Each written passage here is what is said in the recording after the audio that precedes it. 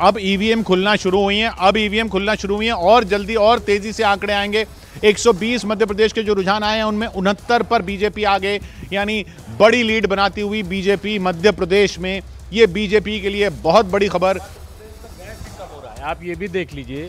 18 का गैप है 120 में से उनहत्तर में आगे हैं। इक्कीस बाईस का था वो धीरे धीरे आप देख लीजिए कि कि वो सिकुड़ रहा है। तो इसलिए अभी वो तो छत्तीस छत्तीसगढ़ छत्तीसगढ़ में भी सिकुड़ रहा है। नहीं नहीं ठीक है वही तेलंगाना में भी सिकुड़ रहा है। इसी इसीलिए बहुत ज़्यादा खुश होने की ज़रूरत नहीं है। अभी ये चूँकि शुरुआती है बिल्कुल शुरुआती है इसलिए मैं खामोश हूँ। अभी सब कुछ जो है पता चल जाएगा और ये जो लड्डू और हलवा ये सब रखा रह जाएगा। ये लाहौर सीट से गोविंद सिंह आगे चल रहे हैं मध्य प्रदेश में हर बार जीतते हैं वो।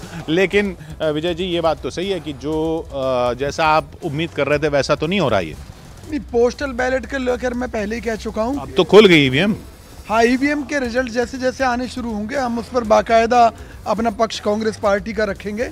और मैं फिर कह रहा हूँ कि मध्य प्रदेश में कांग्रेस एक तरफा जीत हासिल करेगी ऐसी हमें अभी भी मध्य प्रदेश में 124 में से इकहत्तर हो गई बीजेपी की। आप कह रहे हैं कांग्रेस एक तरफा जीत हासिल करेगी। शालनी के पास चलते हैं। शालनी।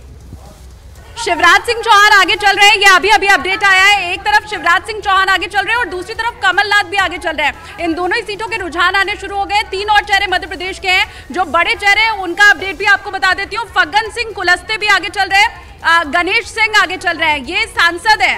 आपको हाँ। बीजेपी से सांसद है? इस भी आगे चलते हुए दिखाई दे रहे हैं। दिग्विजय सिंह के बेटे जयवर्धन सिंह। जी जी वो जयवर्धन सिंह आगे चला। मैं मैं हाँ। रायपुर चल रहा हूँ। यतेंद्र के पास यतेंद्र कांग्रेस के वॉर रूम में वहाँ पर मौजूद हैं। छत्तीसगढ़ में अब गैप जो है कांग्रेस ने बड़ा कर दिया है। बत्तीस तेईस पचपन सीटों का जो रुझान आया उसमें बत्तीस पर कांग्रेस आगे तेईस पर बीजेपी आगे। यतेंद्र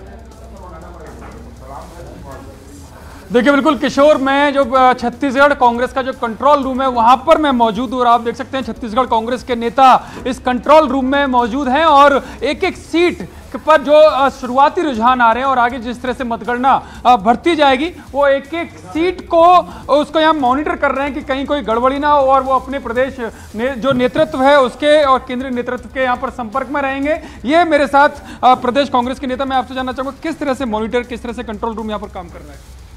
पूरी नब्बे विधानसभा में अंदर में जो मतगणना चल रही है, हमारे जो एजेंट हैं, वो जैसे ही गिनती होती है या कहीं कोई गड़बड़ी की शिकायत होती है, तुरंत वो बाहर में जो हमारे कार्यकर्ता वरिष्ठ हर विधानसभा के लिए हमने तीन तीन वरिष्ठ कार्यकर्ताओं को लगा रखा मतगणना के बाहर में।